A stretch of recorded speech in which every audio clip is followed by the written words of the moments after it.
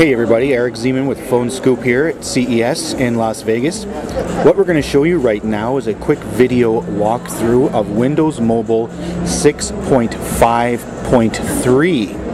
This is a new release for uh, for Microsoft headed to uh, Windows Mobile phones uh, at some point later this year. And uh, there's been some changes to the user interface that make it much, much more finger friendly. So let's get started. You're going to notice right away, if you're familiar with Windows Mobile, that we've got some new things going on here on the bottom. Basically what Microsoft has done is taken all the functions that used to be up here and moved them down here. Microsoft did this because, well, obviously your thumb is a lot closer to, uh, to this part of the screen than it is in this part of the screen when holding a device in your hand. Many aspects of the, uh, of the operating system remain the same, of course, but you can see as we scroll through all the different um, features of the phone, we always have access to these buttons down here.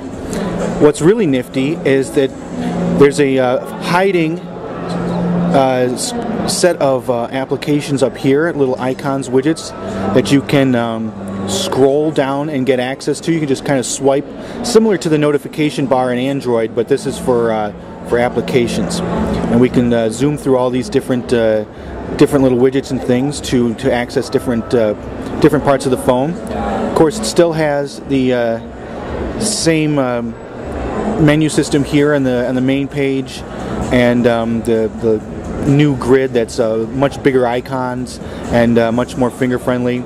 And uh, we can zoom back out. One of the changes that I noticed that I really want to show you is uh, in the, in text messaging. They've made some awesome changes to the keyboard. So here we have the full QWERTY keyboard, right? Say I want to get to numbers. I swipe sideways and there are all the number characters.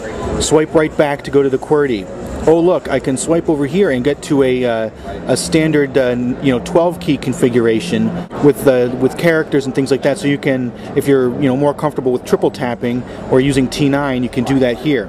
So that is really nice. I, I think that's my favorite feature here of, um, of this new, new keyboard design in Windows Mobile 6.5.3. And of course we can ditch it and get rid of, get rid of it uh, if we need to. And looking at the menu, you can see the menu system, and this goes across the board for all applications, is uh, they're much bigger. Um, there's a lot more room and you can see that it's just easier to use your finger to tap things and get at different uh, different parts of the, uh, the operating system. Let's see, go back out to the main screen. We'll go up and uh, show you music, the music application. Uh, we will um, launch this. You can see it here. We've got uh, same things down here at the bottom and uh, more finger-friendly controls for the player itself. And uh, we still have access, even though we're listening to music, to uh, these uh, these tools up here. And um, get rid of those. And this also has a menu that lets you uh, do all sorts of different things with the music player. And um, the phone is uh, is very similar to the existing uh, Windows Mobile 6.5. Um, this is uh, a nice uh, nice keypad here for dialing numbers, and uh, you've got the same menu system here. You can also uh, get rid of the keypad at will, and also bring up the QWERTY keyboard to dial in your contacts for easier searching and finding phone numbers.